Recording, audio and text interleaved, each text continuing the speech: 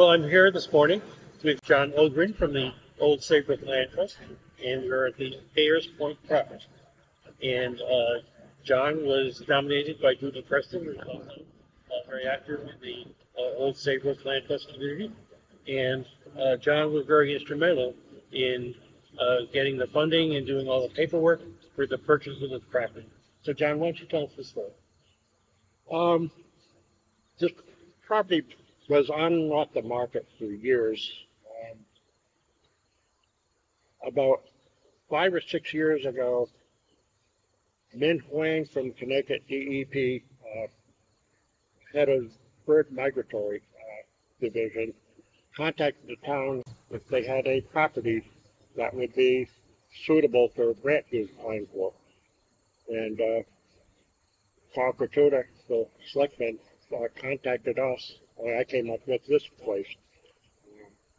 So the initial go around, we raised enough money in the first two years to buy the property. We ended up not getting it. Uh, the owner backed out at the last minute. And so it, we took it off the market. And then about two and a half, three years ago, it came back up again for sale. So we contacted Min. His fifty thousand dollar grant was still available. Um, Connecticut Audubon had a grant a lot bigger than the first time around. The second time, they they administer the ILF fund.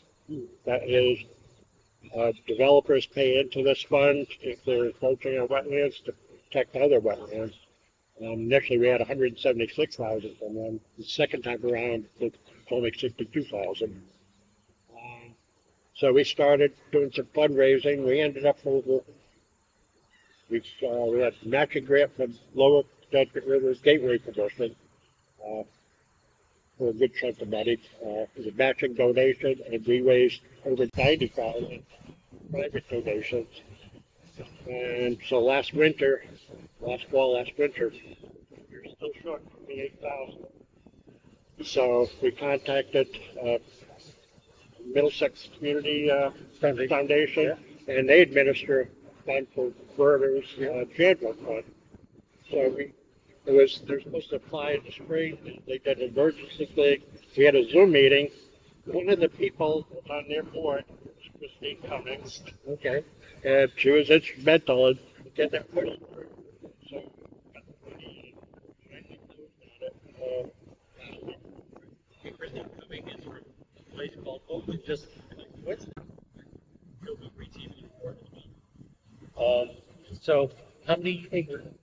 Eleven acres, about five acres of grassland and, uh, whatever, five acres of, of park where the ladies are. Yeah. Um, what is critical about this is one of the few places in town that will allow for uh, large migration as climate change happens and river, uh, the water levels start increasing. We can gradually move up into other areas where most of the places in town have hard, uh, you know, embankments or whatever that the marsh can't go anywhere. So that's one of the critical things there. Now, this is uh, part of uh, your other request is. Yep. And this area is also very conducive um, to to identifying and, and migrating birds. Yeah, we are. One of the reasons why this property was important to me is um, we do our Christmas bird count here. And this was traditionally Roger Tory Peterson's and Noble Proctor's, his best friend, um, their starting place. So about 20 years ago, I started with my son, with Noble, and a couple other people. And this is where we'd always start our Christmas bird count in Old Saybrook. Uh, sometime last Sunday, December, the first Sunday in January. And uh, it was incredible how many birds are still around in that cold Yeah. weather. So, what was the most common bird? Um, well, there's always all kinds of blackbirds here. Uh, there's a little marsh right here, the beginning of the High Creek, um, rusty blackbirds, which are get pretty rare in the state. uh, we called snipe and woodcock in here, and rail would here. So this is very important habitat Yes, uh, for bird migration, yes.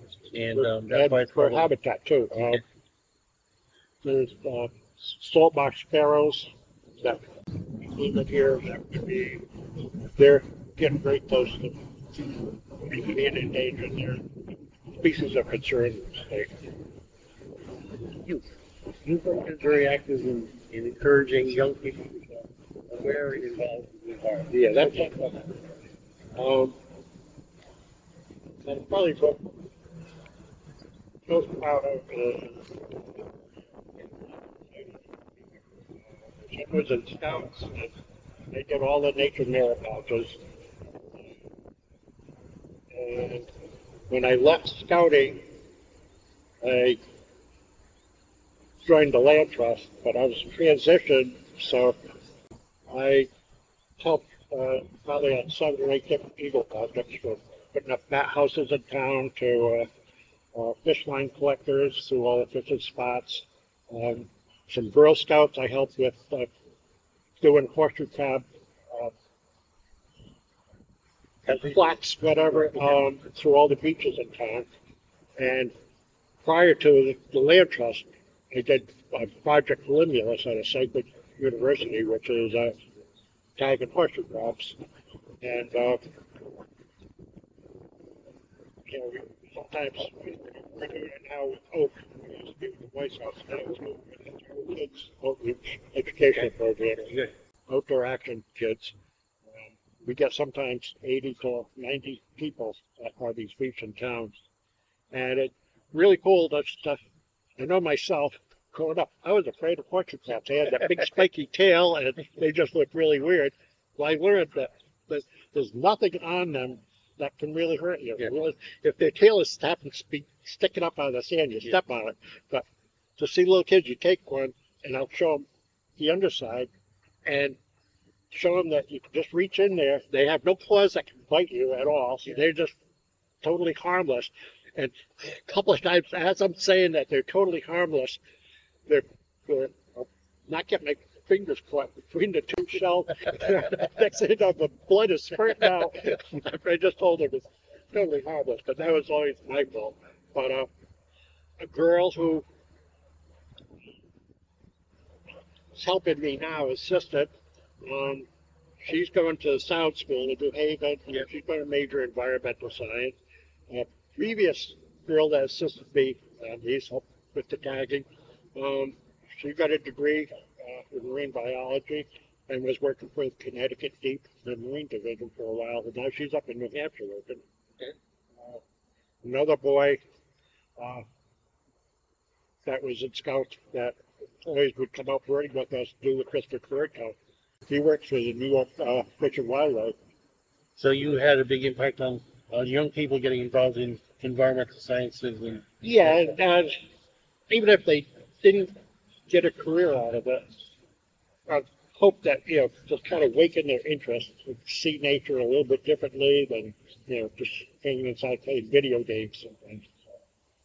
Okay, very good. Well, John, it was a pleasure to meet you. Congratulations on receiving our award.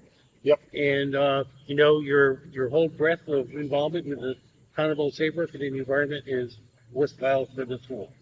Thank you. Thank you. And I'm very honored. This is a big surprise. Well, well earned.